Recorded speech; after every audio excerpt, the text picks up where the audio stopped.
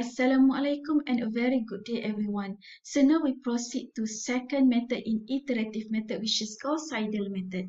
Gauss-Seidel method you will have here same step as Jacobi method.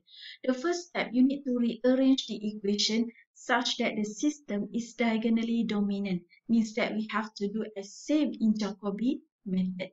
And in step number two, we need to write the equation in an explicit form. The difference is here. Whereas here, you will have x1, x2, x3 as subject. That is, you can see you have here for the k plus 1 iteration here, okay? And then equal to all this. But uh, for the first x1, you will have the same formula as Jacobi method. However, for x2 and x3, now the formula is different. The formula for x2, you will have a x2k plus 1 equal to b2 minus a21 x1 if in Jacobi method, this one is k. However, here it becomes k plus 1 because when you do iteration, you will start to compute this one, right? Means that you will already have this value. Once you have this value, you will update here uh, means that at this x2, we will, we will use the updated x1, not the previous value. And then minus a to 3x3 here become k because k is not yet computed once you go to this x2 k plus 1. So we still uh, need to use uh, the, uh, the value of x3 from previous iteration.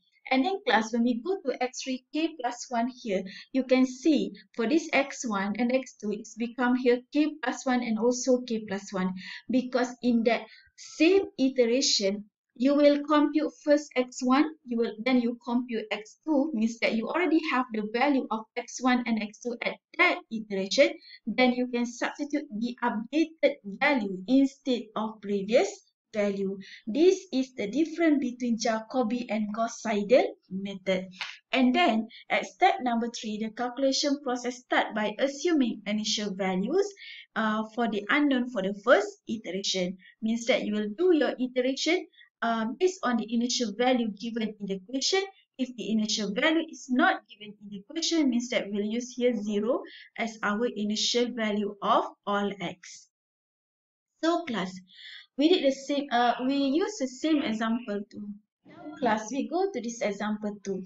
We we have the same question as jacobi method but in this question we need to use gauss-seidel method to obtain the solution for the following system.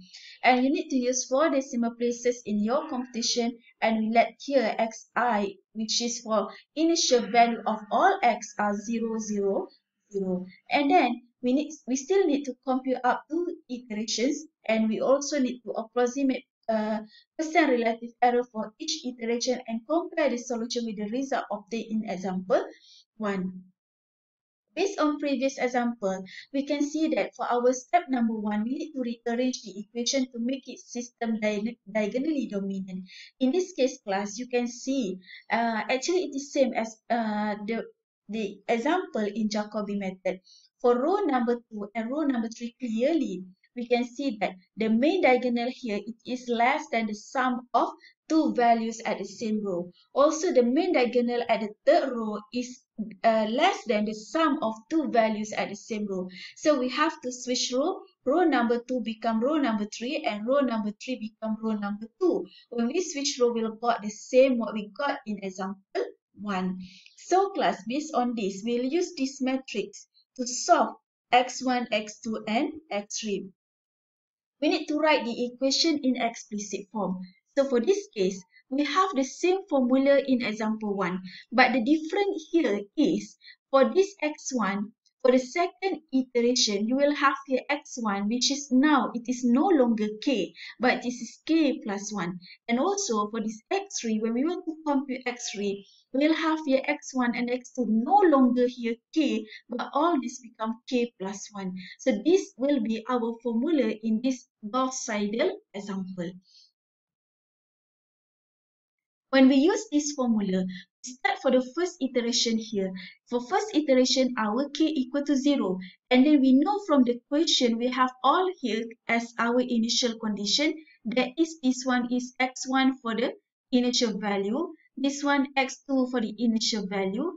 And the last one here is x3 for the initial value. And now class, we want to compute x1 at k plus 1, which is here 0 plus 1.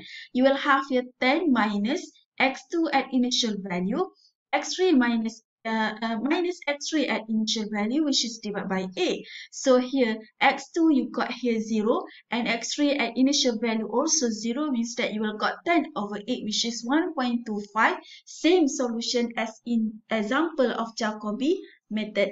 And then class for the second uh, value which is x2 at this first iteration you will have here remember the formula for this x2 okay we have in general, x2 at k plus 1 equal to 4 minus x1 at k plus 1. This is for Gauss-Seidel method minus 2x3 at k which is divided by negative 7. So class, here when k equal to 0 means that you will have x1 at first iteration equal to 4 minus, uh, sorry, x2 at first iteration equal to 4 minus x1 here k0 right? So a 0 plus 1 at first iteration minus 2 x3 at initial divided by negative 7 so this one x3 at initial you got it from this initial condition which is 2 times 0 so we'll got 0 but x1 at first iteration we will get the value from this calculation that is the value is 1.25 it is no longer 0 that is you have to substitute here this 1.25 in this formula means that you will got different answer as in Jacobi method. When you solve using your calculator, the answer here is negative 0.3929. Instead of in Jacobi, we got negative 5.7 something. So now class, when we go to the third value here which is x3 at first iteration. For this one the formula in Jacob uh, sorry in Gauss-Seidel method is given by x3 k plus 1 equal to negative 2 minus 2 x1 remember class here k plus 1 minus x2 k plus 1 okay all this divided by 9 so for this one you can see k equal to 0, right? So we have x3 at first iteration equal to negative 2 minus 2. x1 here also will take the value at first iteration. Minus x2 also will take the value at first iteration divided by 9. So we will no longer use the value from initial value for the third values here. Means that you will have negative 2 minus 2 times 1.25 plus 0.3929. This is x1 at first iteration and this one is x2 at first iteration. When we solve this one using our calculator, we'll got the answer negative 0.4563. So now class, we need to compute epsilon A.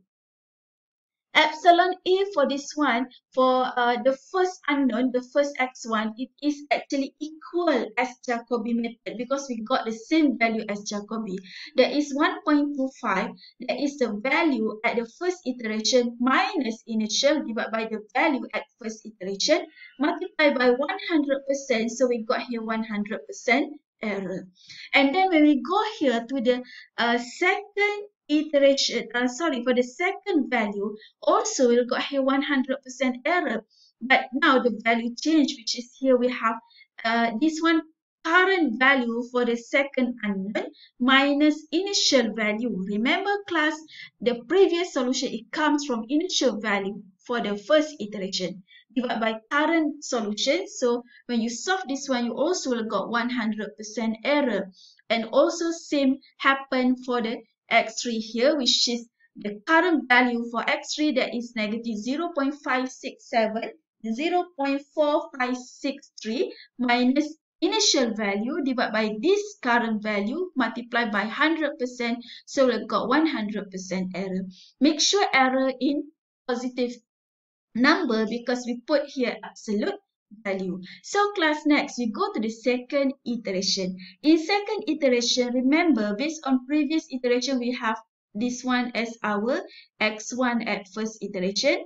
This value is x2, x2 at first iteration. And this one is x3 at first iteration.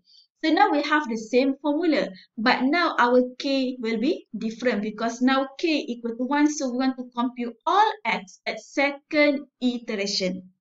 Based on the formula for x1 at second iteration equal to 10 minus x2, remember class, this one k, right? So k you substitute with 1 means that x2 at first iteration. And then x minus x3 also at first iteration. So that you substitute the value here. Okay, this is x1 at first iteration, x3 at first iteration. Substitute in this formula. Solve using your calculator. You will got 1.3562 as the solution. And the next class, we go to the x2 at the second iteration. For this one, we know the formula now is different between Jacobi method, which is our formula 4 minus x1 here is k plus 1, right? So when here is k plus 1, which is we have k is 1, so 1 plus 1 it becomes 2.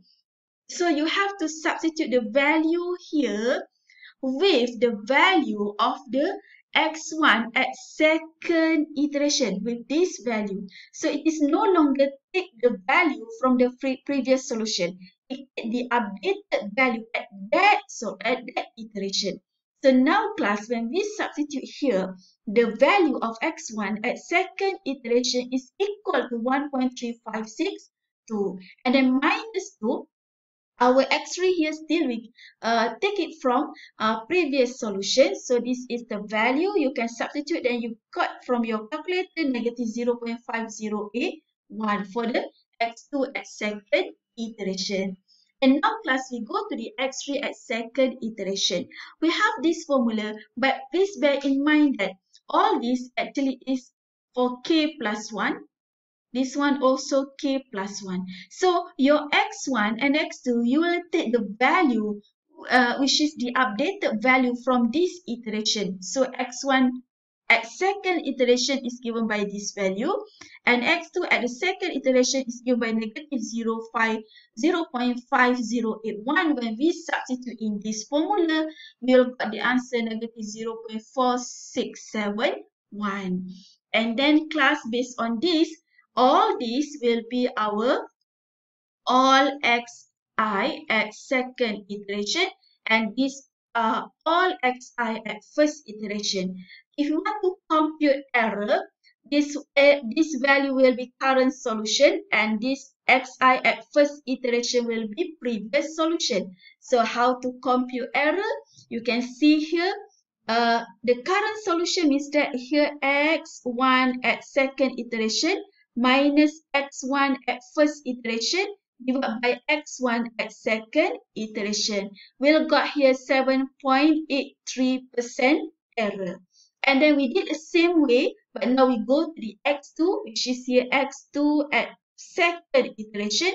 This one is x2 at first iteration divided by x2 at second iteration. You can see your error here is 22.67%. And then class, when we go to the last one, we can see here, this one is x3 at second iteration. And this one is x1 at first iteration. Uh, sorry, x3 at first iteration divided by x3 at second iteration times 100%, you got 2.31% error.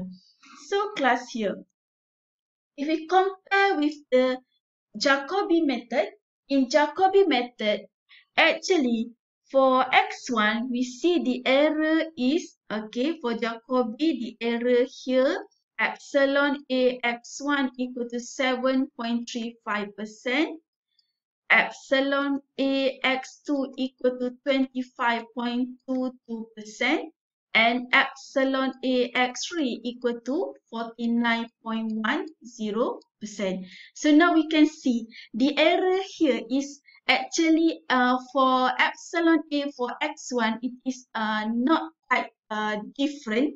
Okay just uh, for this uh, this Gauss-Seidel method it is greater uh, 0 point something but you can see the difference is in x2 and x3 because now we use the updated value in x1, we, we are not using the updated value. We still use the previous value. But for x2 and x3, we use the updated value. So you can see how the error will be decreasing. So now, for example, for x3, we can see from 49.10% based on Jacobi method, now the error is just 2.31% in Gauss-Seidel method.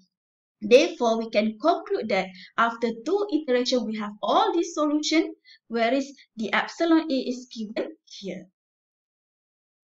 So class, so this is the comparison between Gauss-Seidel and Jacobi method.